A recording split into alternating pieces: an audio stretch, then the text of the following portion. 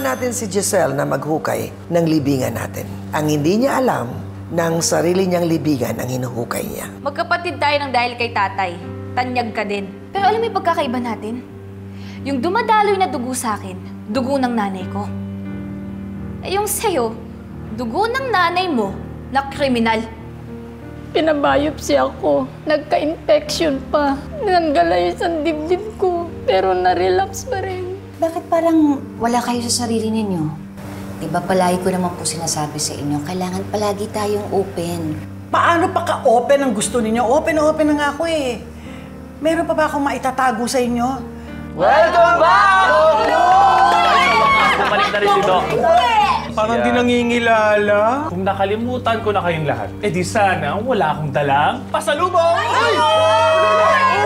La, bakit wala po kayo sa cafeteria ngayon? Mapunta akong Santa Ana. Bibili lang ako ng karne dun sa supplier natin. Sige po, mag-iingat po kayo ah. Oh, sige. Miss Morgana, I would like to extend my apologies, my sincerest apologies. I accept your apology, Miss Tanyag, but I'm afraid it's not enough. Kung hindi apology ang hinihingi mo, anong gusto mong mangyari, Miss Go? I want Miss Giselle Tanyag to be removed as the CEO of Apex. What?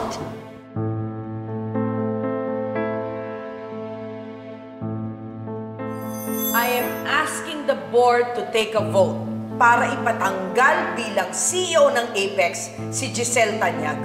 No way! You can't do this to me, Morgana. You're asking too much. Pwede naman natin to pag-usapan ng maayos na hindi na kailangan dumaan pa sa botohan. Dr. Tanyag, are you telling me na kinukonsinti mo ang kapatid mo?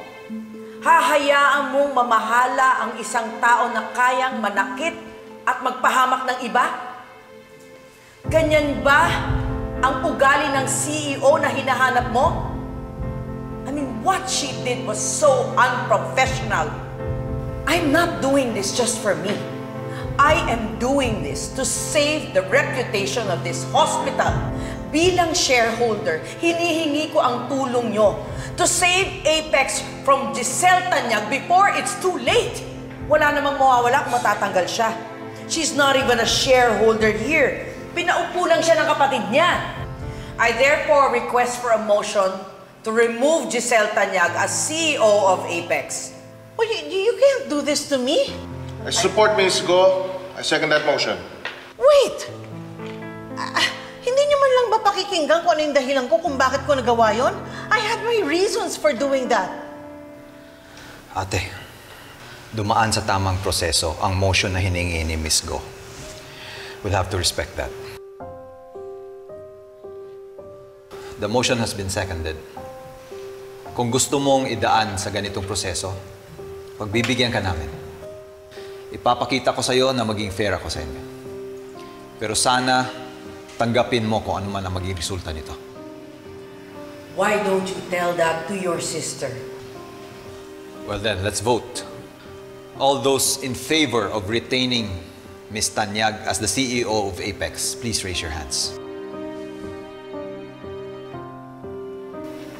One, two, three, four. All those in favor for the removal of Ms. Tanyag as the CEO of Apex, please raise your hands. I agree. One, two, three, four, five.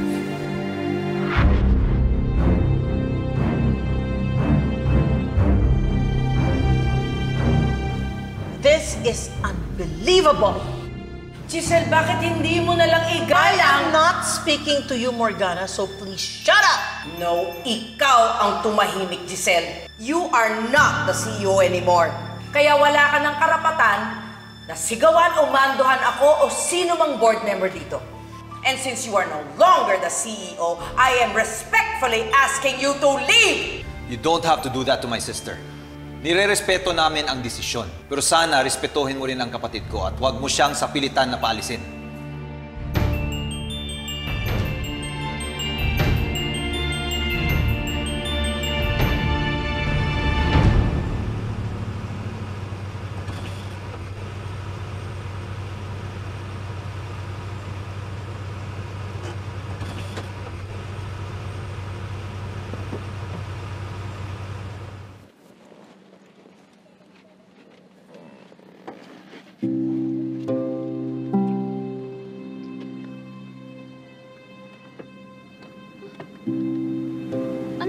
Ginagawa ni Lola dito? Sino kaya kikitain niya? Oo nga, parang malayo na neto eh. Siguro sobrang importante siguro yung pupuntahan niya. Para puntahan yung ganito kalayong lugar. Ay, kuya, sige, salamat po. Salamat po. Ito po.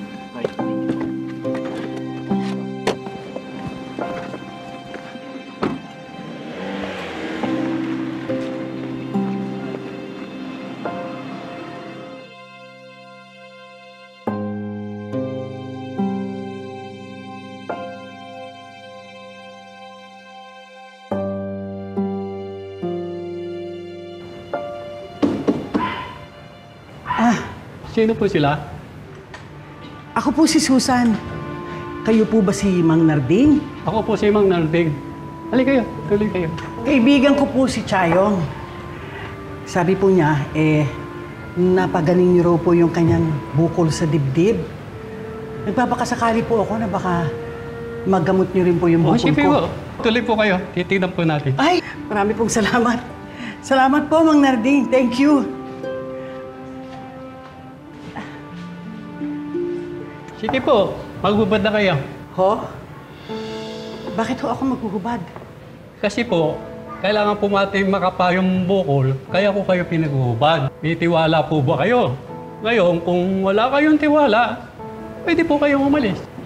Ay, hindi ho. Okay ho.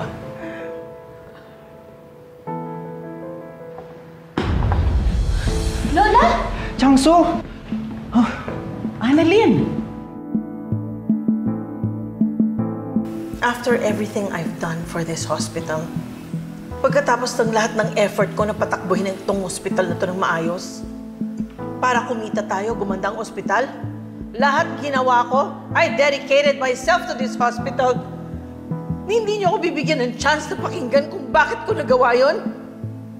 Nagpapaniwala kayo sa isang babaeng kadugo, kamuka, at higit sa lahat, kasing sama ng ugali ni Moira? Good luck to all of you.